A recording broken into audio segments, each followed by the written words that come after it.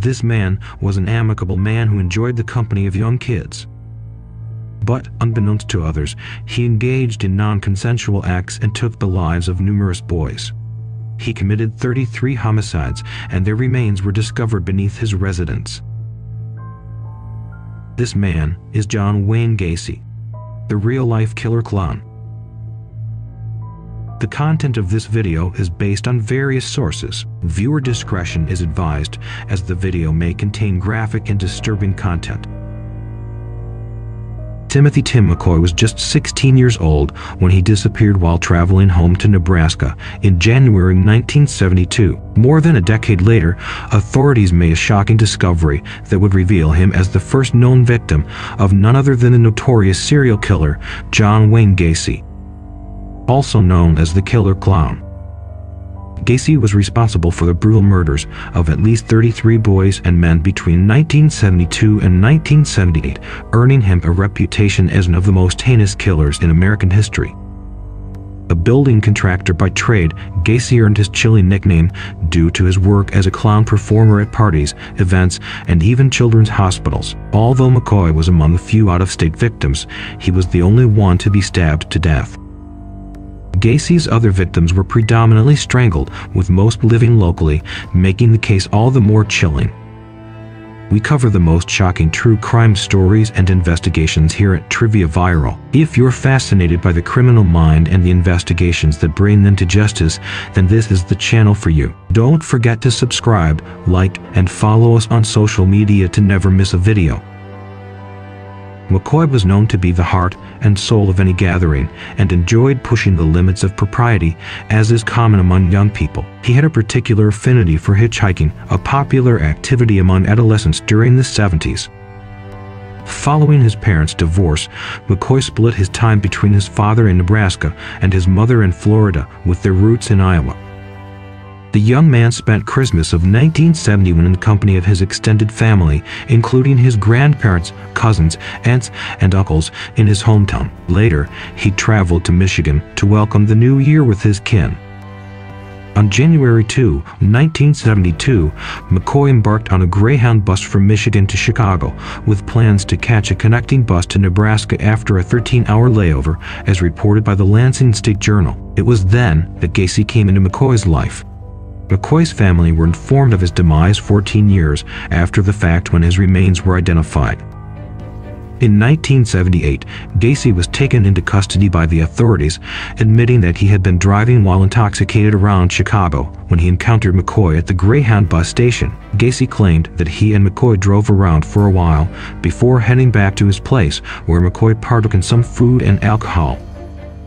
Afterward, Gacy asserted that the two engaged in consensual physical intimacy. However, Gacy alleged that he awoke at 4 a.m. to find McCoy wielding a sharp-edged kitchen tool, making his way towards him.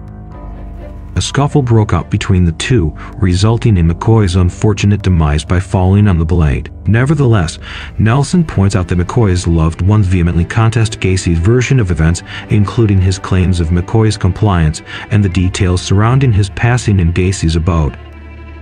According to Catherine Ramsland, a DeSales University professor of forensic psychology, Gacy's statement about how he killed McCoy and their supposed consensual intimacy is unlikely to be true. Gacy, being a psychopath, had a narcissistic and confident demeanor that he utilized to lure and manipulate his victims as well as appear believable to authorities.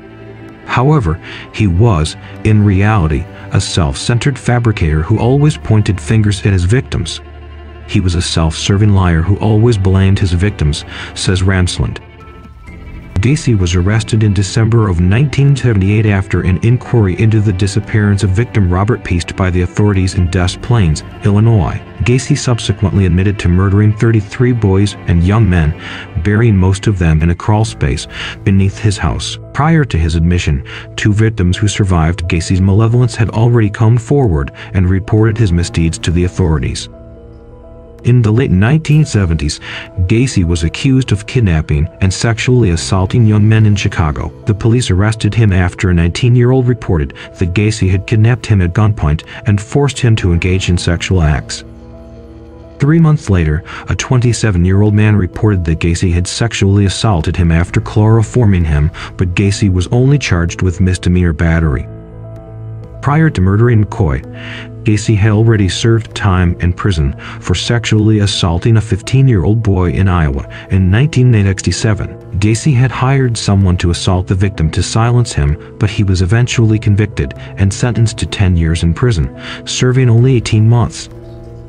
In 1971, he sexually assaulted a boy he had picked up from the Greyhound bus station in Chicago, the same station where he would later pick up McCoy. The victim did not appear in court, so the charges were dismissed.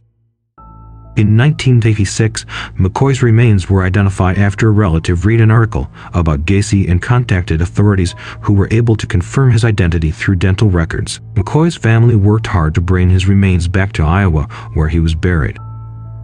Gacy was convicted in March 1980 of the murder of 33 people, which was at the time the largest number of murders ever charged to in person in U.S. history. After spending 14 years on death row, he was executed by lethal injection in 1994. Unfortunately, five of Gacy's victims still remain unidentified. Thanks for joining us on this journey through the darkest depths of the criminal world. We'd love to hear your thoughts in the comments below, so don't forget to leave a comment and let us know what you think. If you enjoyed this video and want to see more like it, make sure to hit that subscribe button and give us a thumbs up. And don't forget to follow us on social media for even more content and updates.